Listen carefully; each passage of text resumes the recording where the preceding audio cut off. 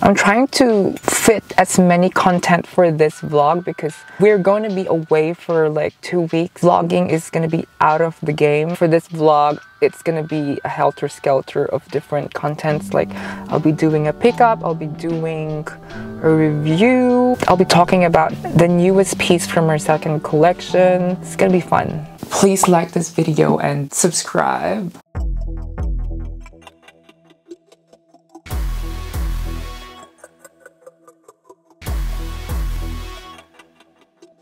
It's a Saturday, oh, it's a Friday, so we thought of going in the city. And I don't know what we're gonna do, but I feel the need to go out because I have to wear my outfits. There are times that you really want to go outside and just feel the world around you. I am excited to be wearing this again. Since it's the last week of winter, I might as well go hard with my fit. I am gonna be wearing this Maleficent jacket from Rick Owens. There are so many pieces that I've been loving from the new collection. I actually love the extreme designs lately. However, this is more crowd friendly. This is more well behaved. So I'm wearing a dress from Rick Owens. I'm gonna be meeting a friend and we'll be having some light lunch and of course some good wine because it's been a long week and it's really freezing outside. It's the worst when it's cold and there's like wind. I was gonna wear the jacket from our clothing line. I think it wouldn't give me that warmth though. Maybe on another day. So the annoying neighbor just left with her annoying car. This is gonna be the jacket that I'm gonna be wearing. Crowd friendly, but still menacing jacket. I mean, look at it. And can I talk about the skirt that I'm wearing? Just a classic hourglass pillar skirt from Rick Owens from the Glitter collection. It's made from this beautiful velvet velour. When I bought this online, I thought it was like floor length, but then it wasn't. Do you ever get that feeling like that you have this vision in your head and it turns out not the same? You're drowning with your delusions, expectation versus reality. I'm beginning to get really irritated with buying online lately. I just want to show you the bag that I'm going to be wearing today. This is from the archive can I say archive? Because this is from 2017, Balenciaga 2017. It's called the Balenciaga Air Hobo Bag. This was Demna Gvasalia's earlier collections. I remember having a major, major crush on Demna's work during those years. And this bag is one of my favorites from that collection. I think this was inspired by the Moroccan chairs. It's crazy. It's like a UFO. It's like a massive piece of black dough. It's silly. It's, oh shit. It's super ugly, but I love it. I feel complete with a big bag. I have a lot of stuff to carry. It's secondhand, of course. I can't afford buying like new pieces at the moment because we are planning to go to Europe priorities. So this is my hair. I need to go to the hair salon soon, right? Yeah, I don't want to spend too much money on futile things at the moment. If I can get away with this crappy hair, then I, it's not the end of the world. Living in Brisbane, it's nice and not nice at the same time. Like food-wise and people, it's perfect. Fashion-wise, it's boring AF, but whatever. I'll see you guys later.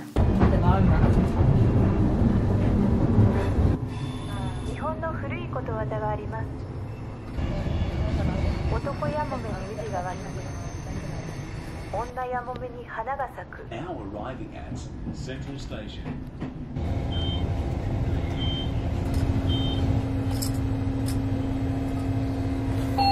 Doors closing. Please stand clear.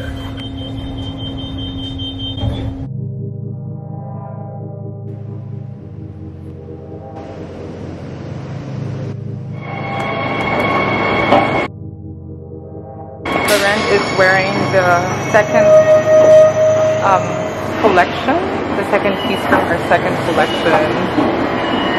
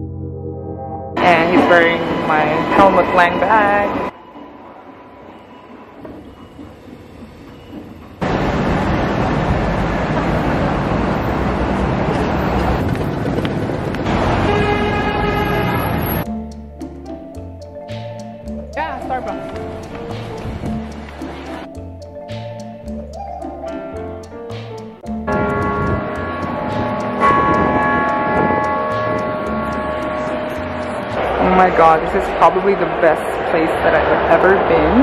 We're at the City Hall in Brisbane and I just love this.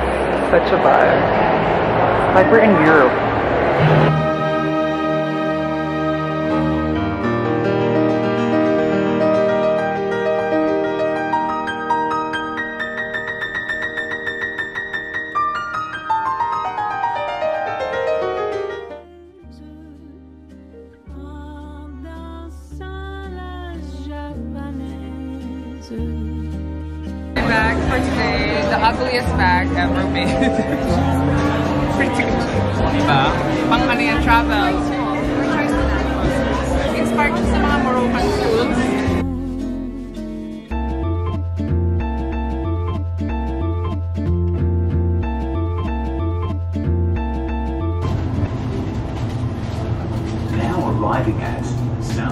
Station.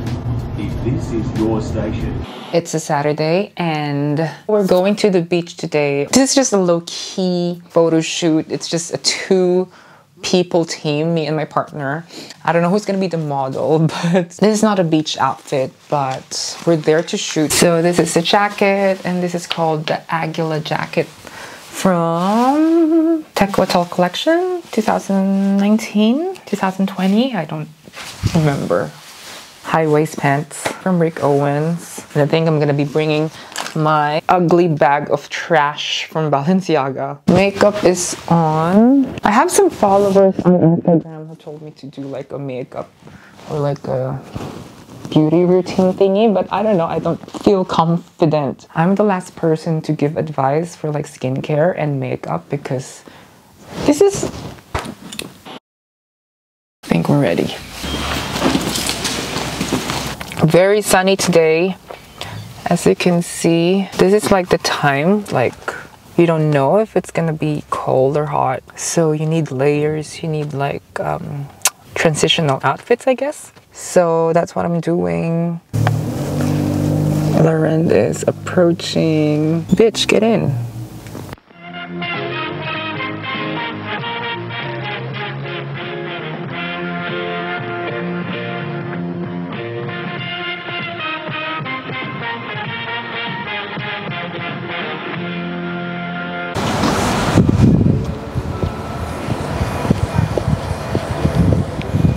Cold today. It's sunny, but it's very cold.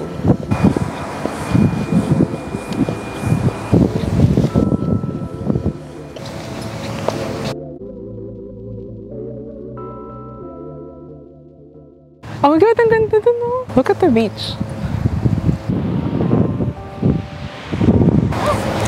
Hirap maglakad ah. It's easier to walk here. We're still looking for locations. I think we're lost.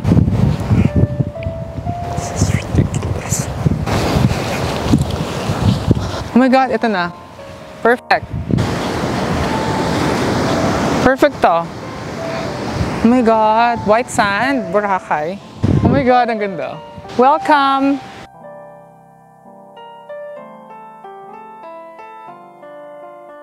Perfect day, we're feeling good. Stay there. Lauren showing us some styling skills. So the jacket has multiple zippers and you can style it in so, so many ways. This is one of my favorites because it's like a cape. This is the venue, this is the um, location. I don't know how Australians do it. Like it's so cold, but they're like half naked. Super freezing right now, oh my goodness. And the beach is sort of empty. So I'm just taking some clips. Yeah, so yesterday we went to Brisbane in the city and Lauren wore the second piece from her second collection. I have to say that I'm quite impressed with how he styled it. It's giving off Balenciaga slash Y/Project vibes.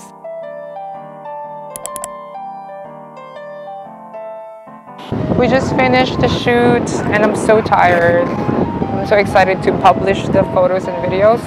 This is my outfit.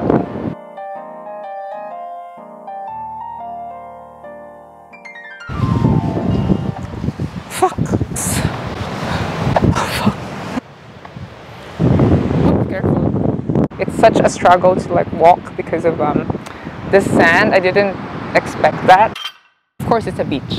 Um, I also want to talk about the benefits of archive fashion. Last week, I did an interview to an institution, a fashion institution, and a fashion magazine that I truly look up to. People are starting to notice that my channel, my style is geared towards archival fashion. There are others who have a massive collection, more remarkable pieces. Comparing my wardrobe to their wardrobe, my wardrobe is just a tiny dot. It's an honor to be validated and to be recognized. There are days that I have this imposter syndrome, like I'm having these questions what is the purpose of this channel anyway? But at the same time, I have to understand that the content that I'm bringing to you guys is still niche. And I actually love doing this content because I'm able to like share some knowledge and inspiration, let's just say. So I think that's enough. In today's video, I'll be sharing the reason why I love archive fashion and why you should. Let's do this. Hello. It was a chore to set this whole thing up. Whenever I watch vlogs, it always starts with a coffee. Why not a glass of wine, right? So I'm here to talk about the reasons why I love archive fashion or what archive fashion did to me for my personal style specifically. For my outfit, a Rick Owens blouse, jacket, and this is from Dark Shadow Rick Owens. So what collecting archives did to me? Number one, I stopped following trends. Yeah, sure, I love fashion for what it is and I observe trends. And if you have the habit of checking out what's happening every season, you kind of get the gist or the common denominator of what each brand is doing at that season. It could be cowboy boots, it could be metallic, florals for spring. So yeah, I do, I still do observe, but I don't apply it for my personal style, hence the very limited designers that I collect. And I've been blogging since 2009. I've done all the trends. I've tried experimenting with colors. It was all too much for me. I've just decided to go back to my roots and just strengthen my personal style through avant-garde. In your life, you'll have to go through phases, which is fine. I have somehow strictly filtered my my interest to certain designers. I think part of it is being older. You just get tired of all the nonsense and junk that you see in fashion. And I think it's important for someone who loves avant-garde to consider archive fashion as well because it's so expensive to like build a wardrobe if you're going to be buying retail price or if you're buying pieces every collection. Can you imagine that? It's not sustainable financially and environmentally and also mentally. And also, I think personally, it also lies and depends on your values. As a person, I've always gravitated towards the past. I love nostalgia. I love looking back instead of like looking forward. Even with music, even with films, that sort of interest has trickled down to my fashion choices. It all started with Rick Owens boots and that was in 2016 and I stumbled upon the Real Real and then I saw these boots that I really loved back in 2009. I thought I would never see the shoes ever again and it proved me one thing that it's not too late to retrace and find those archive pieces that help you build your inspiration, build your mental mood board. For me, that was like the avant-garde movement, the avant-garde moment. Those were like super instrumental in honing and in shaping my personal style. Like it's hard to take that away from me, no matter how stylish the current trends are. I just can't relate to it. Number two, shopping is easier and quicker. I don't stay up late or I don't spend too much time going through different online shops. I would just casually check it every once and again. And if I don't find anything, then I move on. I'm very easy. Like if I find something that I love, then I get it. Before collecting archive as well, I feel like my mental mood board was so, so out of place. There are looks that I want from Celine, a jacket that I want from Balmain. It just doesn't make sense. Ever since I've tried collecting archive, it's more uniform, it's more structured. I think financially as well, it's hard to build let's just be real, it's hard to build a capsule wardrobe or a personal wardrobe if you're just gonna buy current pieces from high-end brands. Not unless you're like super mega rich. But if you're just a regular person who happens to love fashion, it's gonna be a struggle. And I choose not to be broke for fashion. I don't shop all the time. It seems like it. And even if I shop, I must say that the pieces that I have been buying recently were just under $300. Anything over 300, I really try to like think and rationalize. And that's what collecting archives taught me as well is how to shop sensibly, shop responsibly, because at the end of the day, it's just gonna be a mountain of clothes in your closet. So number three is being more sustainable, being more responsible. I try to put more thought into shopping and with knowledge as well you become more responsible. The more that you value it, the more that you enjoy that certain piece. Like it doesn't matter if it's a, a jacket from Comme des Garçons in the 90s, but knowing that it's a brand that has inspired a lot of designers, you're holding something very valuable and important. Number four, I stopped carrying with logos. I'm not saying I didn't fell on those trend traps when I was younger. Of course I did. I remember being obsessed with everything off-white. I even bought two belts from Off-White. I cannot with logo anymore. Wearing logos or logo fashion is lazy fashion. The narrative is just blah. I mean, don't get offended. It's just my personal opinion. I'm not Anna Wintour. Collecting archive has definitely steered me away from that logo mania path. And the last thing that I've learned is not being jealous. And I think it's really important nowadays to reiterate the value of your own personal style and your mental health as well. Fashion can be amazing and inspiring, but at the same time, it can be too overwhelming and it can create a very dark place in your mental health. Did that before. There are times that I've been comparing myself, my clothing to other people, and at the end of the day, we can only accept what we have. I don't want to say life is short, but I want to say life is precious for you to be like torturing yourself by comparing yourself to others.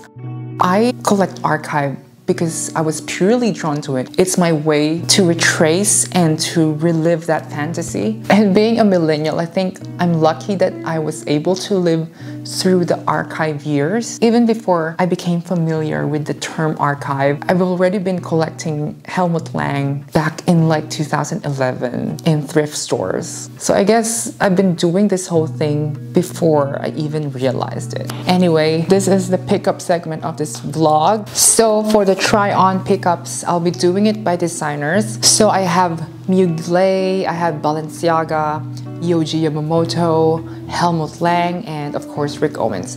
All of these are secondhand. Some of them are archival pieces. First on the list is this Balenciaga bag from spring 2017. It's called the Air Hobo bag. It's inspired by the Moroccan stool chairs. I just love the quirky design, very banal chic. Anyways, this is a nice bag. It's a great weekender bag. If you want to provoke people, provoke the society, this is the bag to get. And I love it. It's because of the odd shape. And I love that this bag is an echo of his recent fall 2022 collection. He sent out models wearing like trash bags. This may have been unpopular by now. I think this will blow up soon. Remember when the motorcycle bag was like forgotten and then now a lot of people are like trying to get their hands on the classic motorcycle bag. I don't care if it's gonna blow up or not, if it's untrendy or not, but I love this.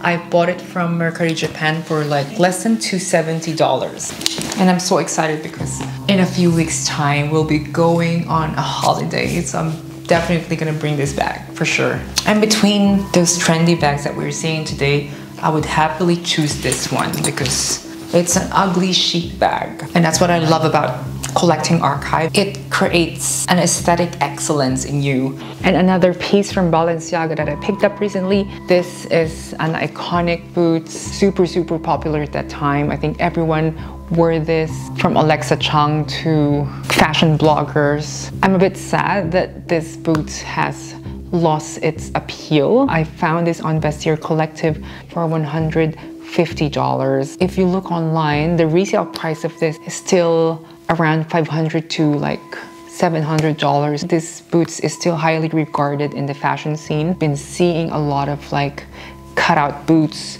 and a lot of like chunky platform boots. So just wait and see. If the bag was an iconic bag from Demna's tenure, this is a product of Nicolas Ghesquiere's work in Balenciaga during that time. Apart from Rick Owens, I was following Nicolas' work. And also this boots is still unworn. It's basically pristine. They may not be the most comfortable, but it's super pretty. We'll see how it looks like. So this is the boot on, looks so, so pretty.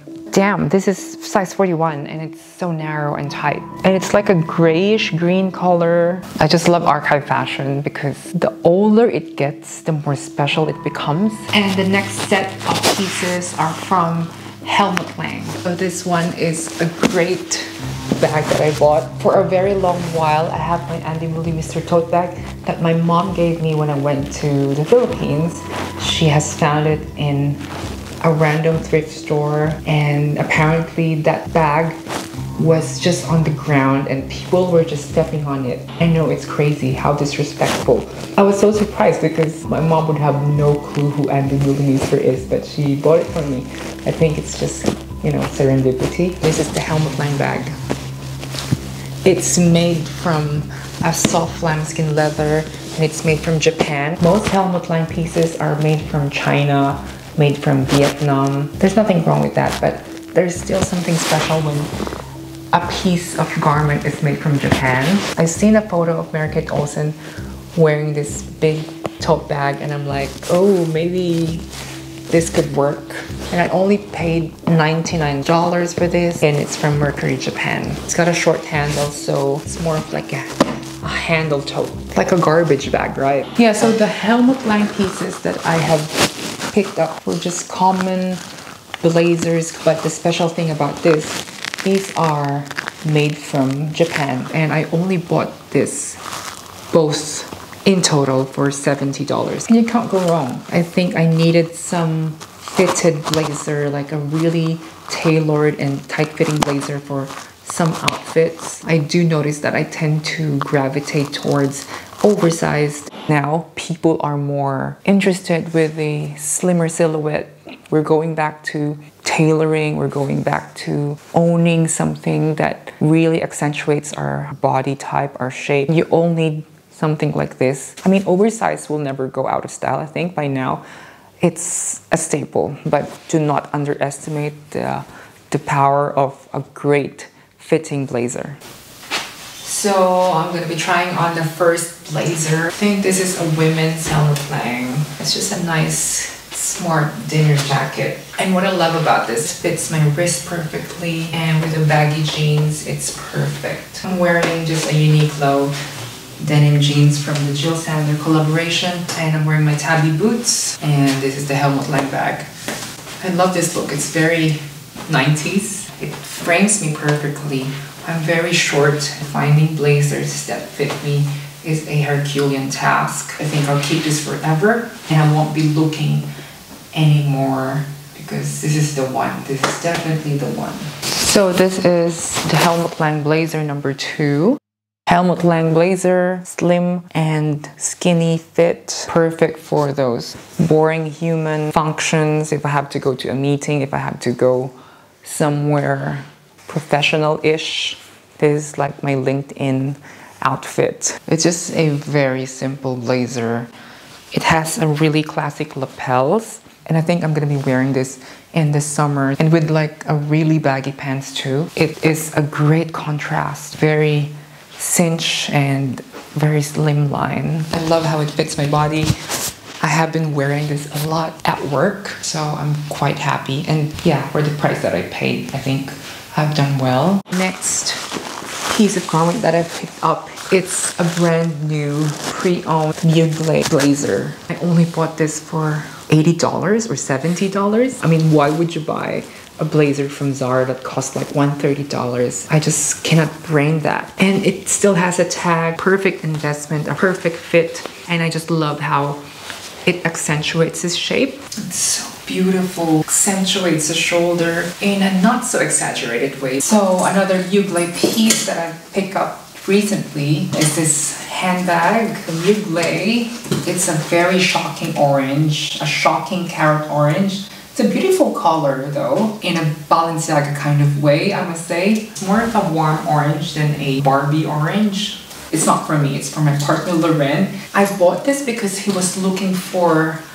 a hysteric glamour Birkin bag which we haven't found. So I've encountered this and I think this is way, way better. It's made from cross grain leather. It's a nice handbag. I love the Birkin style. It has that playful nuance, playful sensibility. You can definitely store your essentials or your more than essentials. Sunglass, a water bottle, some knickknacks. Your lunch, Japanese marketplace is a godsend. It's nice, I love it. We're almost halfway done with the rest of the pickups. So please comment down below which one is your favorite pickup so far. My next one, Yohji Yamamoto Chester coat. This is from Y's. I wouldn't say it's a diffusion line. Y's is a more streetwear umbrella of the mainline Yohji Yamamoto, but nevertheless, the pieces are amazing and and it still resonates the strong Yohji Yamamoto spirit. Super long and super oversized. You can't go wrong with this fit. This coat is definitely a summary of poetic and avant-garde craftsmanship as you can see, the fabric is polyester, but it has that wrinkled treatment. It's intentional, by the way. I got this for Loren as well, but I think in the future, I'll be borrowing this because I can see myself wearing this. The size 2, which is like a medium. If I wear this, still gonna be able to layer inside. It won't provide you that warmth. It's perfect for spring if you still wanna have that dark fashion style. And with Yohji Yamamoto, his brand has been around for so, so long. He has amassed a lot of pieces. You will never run out of a great find from Yohji Yamamoto, regardless of the season. But this is what I need so far. As you all know, it's been super freezing here in Australia for the last couple of weeks, couple of months, and I've been wearing them nonstop at work. And this is also from Y's and it's a size 3. It doesn't look ridiculous on me. I only paid like $75 for this. Insane. It's almost in perfect condition. And yeah, it's just instant dressy attire every time I wear this. Yes, so we've almost finished this whole lot. This is gonna be fun because this is gonna be from Rick Owens. Let's start. This is, can I sit down? Peeler skirt from Rick Owens, made of cotton, viscose, and elastane. It's just a midi skirt. I bought this because it was so, so cheap when I got this. And this is from the recent Larry collection, Fall Winter 2019. And yeah, it's a structured skirt, which I really love. I don't like it when it's too thin and flimsy. I love the structure. It creates a great foundation. Beautiful slit in the back for easy movement and pockets as well. Yeah, simple and easy. Despite it being from the recent collection, I think Rick has always injected this piece in every collection. Like I've seen this from Walrus, I've seen this from Glitter. It's one of Rick's mainstay. And from midi skirt, we move on to a longer skirt. This is from the Glitter collection. It's a pillar skirt. I thought at first when I bought this, it was floor length, like the ones that we've seen in Fogachine collection. Was it Fogachine? Uh-huh. So that was a beautiful collection. So I thought maybe I'll get something like that. And this was from Mercari Japan.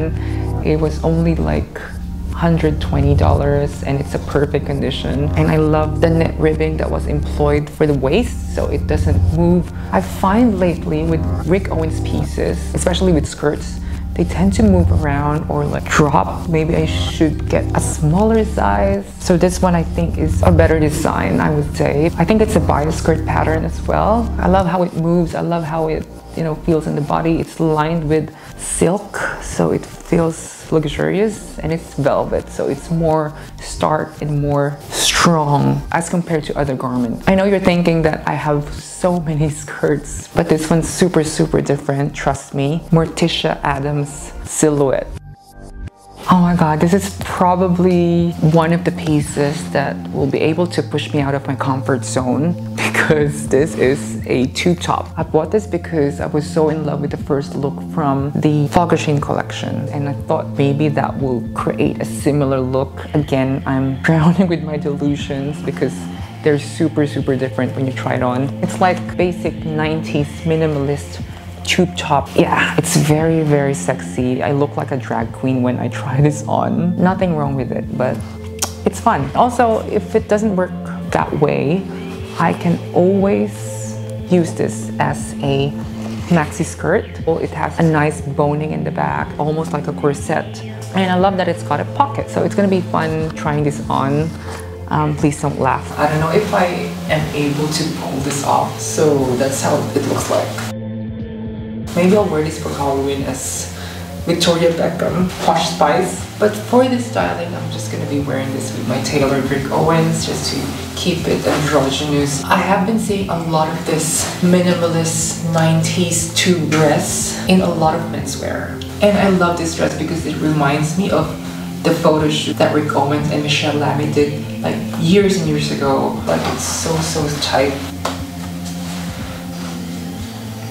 Somehow it does feel liberating to wear something something feminine. This is something that I'll have to like play around and experiment. I have to be honest, I can't see myself wearing this outside without being too overly conscious of my body, of how it fits. It made me realize how how how hard it is to be a girl, I think, how to dress up while considering society, considering the male gaze and all that things. So mad props for all the women out there who are expressing themselves truly and freely. So you guys are giving heaps of inspiration.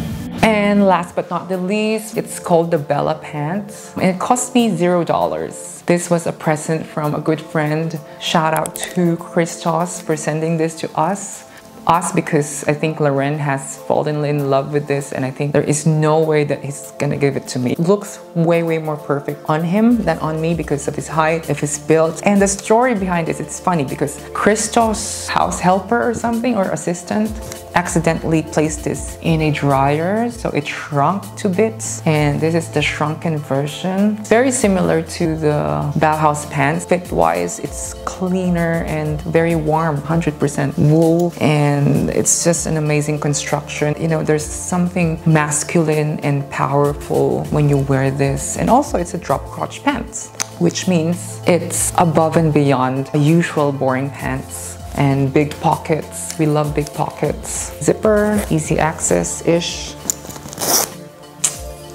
So beautiful. So again, thank you Christos for sending this beautiful piece. I mean, you could have sold it, but he chose to send this to us as you can see, it's slightly big on me. Nevertheless, I can still wear this. I'll just have to tighten the drawstrings. Actually, if I wear a wedge or a heel, it will compensate for the length. It has that certain weight on it. Me and Loren might just need to take turns on wearing these beautiful pants unfortunately we've reached the end of this video.